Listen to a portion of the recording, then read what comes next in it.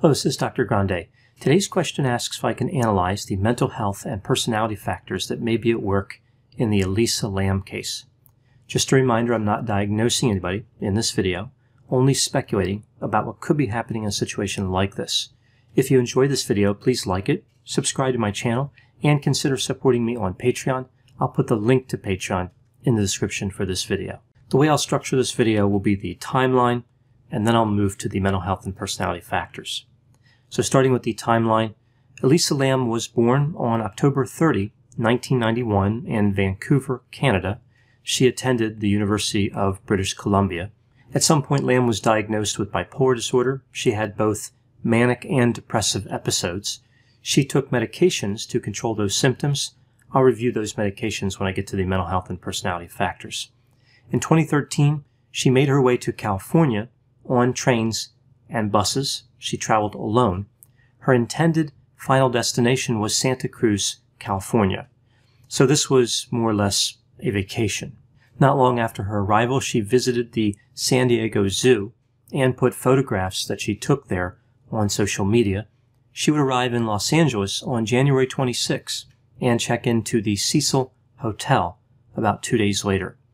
Initially, Lam was given a room on the fifth floor that she shared with other roommates. These roommates complained to hotel management about what they referred to as certain odd behavior. Because of this, Lam was given her own room. Throughout her trip, she had been in contact with her parents every day. Lam was supposed to check out of the hotel on January 31, 2013. However, on that day, her parents did not hear from her. They called the police and they flew out to Los Angeles. This is the day that Lam stopped using her phone altogether. The police searched the hotel, including Lam's room and the rooftop, but they did not locate her. They spoke with the manager of a nearby bookstore that Lam had visited. The manager said that she had contact with Lam on January 31, and she reported that Lam was outgoing, very lively, and very friendly. Lam was buying gifts for her family and discussing how the weight of those books could be a factor, like she was worried about carrying around all that weight for the rest of her trip. On or about February 15, the police released the now famous video recorded on February 1 of Lam in one of the hotel elevators. The camera in this recording was positioned on the ceiling in one of the corners of the elevator, looking down inside the elevator. The timestamp was obscured without an explanation from the police. In the video, we see Lam enter the elevator and push the buttons on the control panel. She pushed the buttons for several floors. The door moved slightly, but it did not close. She waits for a moment, then she walks toward the door, leans forward, and looks both ways. She moves back into the elevator and hides in the corner. She steps back into the doorway and leans forward and looks out into the hallway again. She exits the elevator slowly and then kind of jumps out a bit. She backs up into the elevator and then quickly steps out again. She moves over to the left side of the shot in the hallway.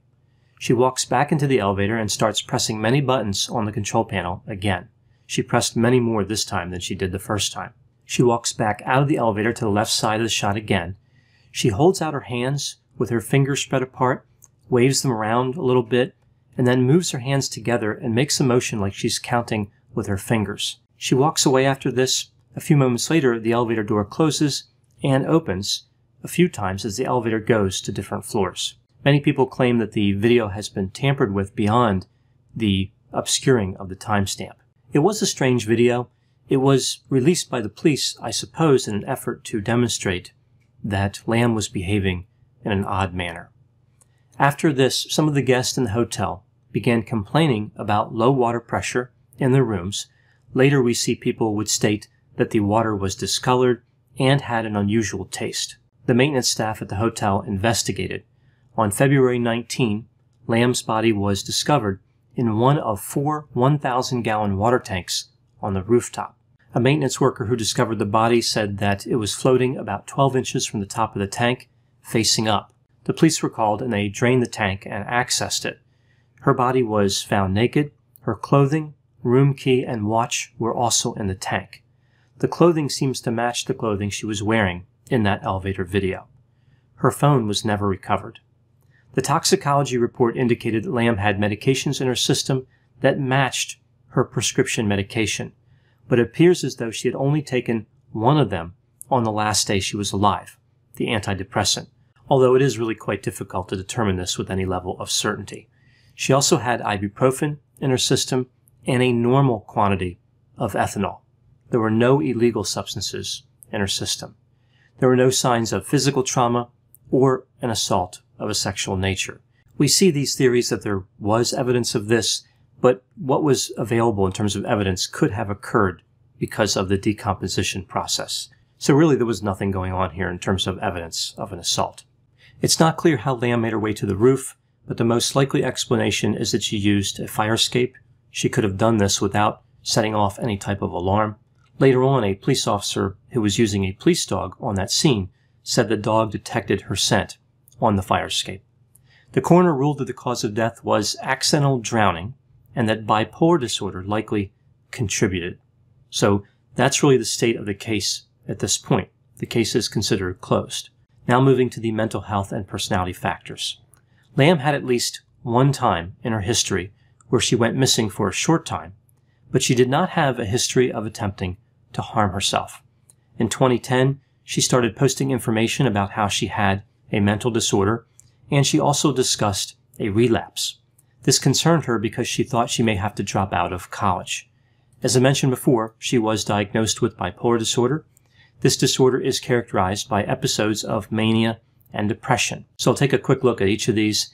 Mania is characterized by having an extremely high opinion of oneself, like grandiosity, having a decreased need for sleep, being talkative, having racing thoughts, being distractible, increased goal-directed activity, excessive involvement in activities that can result in harm. Depression is characterized by a number of symptoms including having feelings of worthlessness, sleeping too much or too little, eating too much or too little, and having an inability to find pleasure in activities that used to bring pleasure. Lam was on several prescription medications, as I mentioned. Specifically, she was taking Effexor, Lamictal, Seroquel, Wellbutrin, and Dexedrine. I'm just using the brand names here. I think it's likely she was on the generic for several of these. I'm going to take a quick look at each of these medications because it does give us some information about what symptoms may have been present. But it is important to recognize that there's no way to figure out what diagnosis somebody has or what exact symptoms they have just from medications because most medications are used for multiple conditions and sometimes they are used off-label, meaning they might be used to treat something that they are not approved to treat. Effexor is a bicyclic antidepressant, typically categorized as a serotonin norepinephrine reuptake inhibitor, or SNRI. Interestingly, the drug also weakly inhibits the reuptake of dopamine. It is typically used to treat depression. Lamictal is an anticonvulsant. It's also referred to as an antiepileptic. It is typically used to delay mood episodes in adults with bipolar disorder. Seroquel is a dibenzothiazepine derivative that is used as an antipsychotic. It is often used to treat people with schizophrenia, but it is not unusual to see it used to treat bipolar disorder. Wellbutrin is an antidepressant and used to promote smoking cessation. It is a weak blocker of the neuronal uptake of serotonin, dopamine, and norepinephrine. The last medication was Dexedrine. This is a stimulant used to treat ADHD. It's also used to treat narcolepsy sometimes. So what, if anything, can we tell from this combination of medications? Well, the diagnosis that she reported, bipolar disorder, seems consistent with these medications. Two things really stand out here for me. One is the number of medications for depression. It seems likely she had both mania and depression. Some people with bipolar disorder do not have depression. So again, it seems to point to depressive symptoms. The other thing that stands out here is the use of Seroquel. It may have been prescribed because she was having psychotic symptoms, although it is used for other things as well, like helping people to get to sleep. So we really don't know why it was prescribed, but again, with its antipsychotic properties, it seems reasonable to believe she may have had psychotic symptoms. One of the difficulties with bipolar disorder is how the mania and the depression are so different. The person goes from one extreme to the other, and both types of episodes can be dangerous.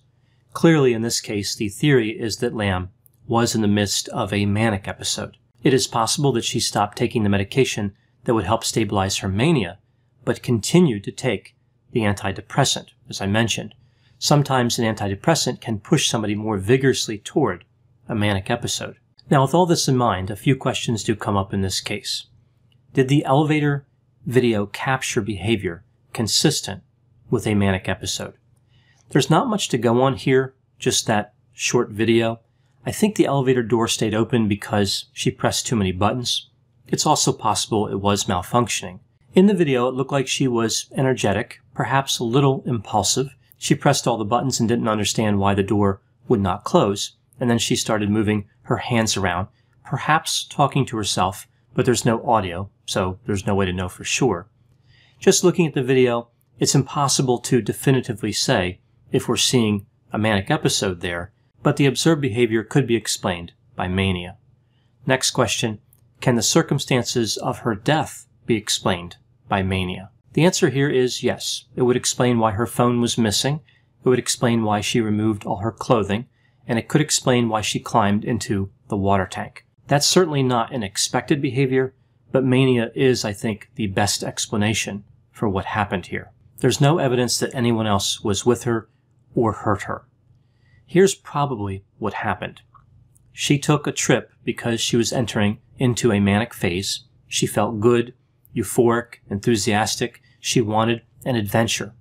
As the mania intensified, she felt as though the medications were no longer necessary. This, of course, only adds fuel to the fire, and it is very common when people are going through a manic phase.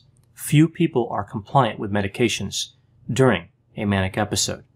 At some point on or about January 31, she loses her phone. She's captured on the surveillance video on February 1, behaving in a manner consistent with mania. At some point shortly after that, she uses the fire escape to get to the roof. The hatch on top of the tank was open, and even if it wasn't, it only weighed about 20 or 30 pounds, so she easily could have opened it. She removed her clothes and her wristwatch and threw them into the tank, and then she climbed in. Once inside, she had no way to escape, and she drowned. The removing of the clothes is part of something I've seen several times interacting with people in a manic phase. The clothes start to feel restrictive, and the inhibition is very low at that point. It's difficult to explain why she decided specifically to climb into a water tank. One theory is that she had seen the movie Dark Water that was released in 2005. The events that took place in this case were similar to the plot of that movie. Also, it could have been a coincidence. Now, of course, there are other theories in this case. I'll just review a couple here. Theory 1 one or more criminals attacked her and threw her into the tank. Well, she died of drowning. Even though we see these theories that water was not found in her lungs, it seems fairly clear she did drown. So the criminals would have had to drown her somewhere else and then take her to the tank, or keep her quiet as they took her to the tank. An important feature of the setup of this tank was that there was no ladder attached to it. Access was gained through a separate ladder that was put up against the tank each time someone wanted to climb to the top of it. At the time of her death, she weighed 121 pounds. It would be difficult to climb a ladder that was not attached to the tank while carrying that much weight. It would be difficult to do that even if the ladder was attached. Another problem with this theory, why would someone who killed her take off her watch and throw it into the tank. That doesn't really seem to make any sense. There was no sign of a struggle in her room and no sign that anyone else was there, period. So if they attacked her, they would have had to do it when she was in the hallway or somewhere else other than her room. Another popular theory is that demons were involved in her death. This theory seems to come up every time there's an unexplained death like this. If there were demons in the hotel, they did not check in, so they were there illegally. Not very courteous. Although I guess to be fair, I don't think there was a no demons sign posted at that hotel. Considering the reputation of the Cecil Hotel, like all the deaths that have occurred there over the years, they may want to consider posting this sign. While they are at it, they may want to consider posting a no serial killer sign as well. They've had a couple there, including Richard Ramirez, the Night Stalker. The Cecil Hotel has been rebranded Stay at Main I guess other fitting names were already taken, like Hotel Death, Die at Main, and Hotel Creepy. Also, These demons must have needed her cell phone, which seems kind of odd. I guess they ran out of minutes on their standard demons and family phone plan. No one at the hotel called Ghostbusters, so that seems to point away from this demon theory as well.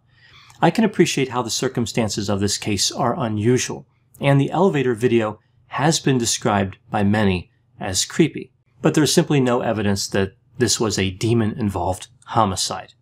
The case of Elisa Lam is both a tragedy and a mystery. I think it stands as a reminder about the dangers of bipolar disorder.